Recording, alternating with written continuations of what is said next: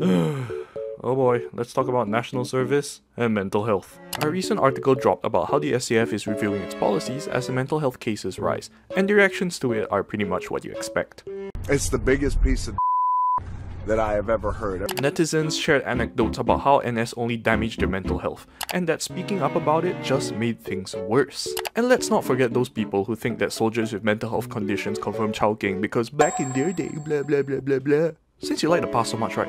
Let's go back to the Stone Age lah. To be fair, as someone who did their 2 years in NS already, I kinda get where the cynicism is coming from. On one hand, superiors have to ensure that their soldiers are disciplined and resilient. After all, the enemy won't care if you have a mental health condition.